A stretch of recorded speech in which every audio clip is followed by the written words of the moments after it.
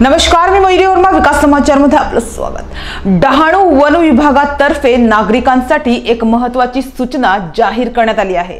Dahanu one विभागाने दिलेल्या सूचनेनुसार मनोर गाव व परिसरातील नागरिकांना त्यांनी सूचित केलं आहे की मनोर जवळील वैतरणा नदीपात्रामध्ये शार्क मासाचा वावर असल्याचे निदर्शनास आले आहे.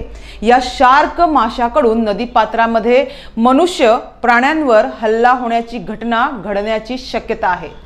तरी मासे पकडण्यासाठी व इतर कारणांसाठी वैतरणा नदी पात्रामध्ये उतरू नये असे सूचित करून डहाणू वन विभागातर्फे नागरिकांना आवाहन करण्यात आले आहे.